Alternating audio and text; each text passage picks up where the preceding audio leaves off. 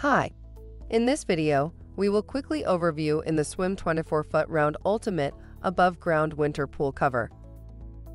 The Ultimate above ground pool cover is made with durable Armorkote on both sides and a 6-inch mesh panel.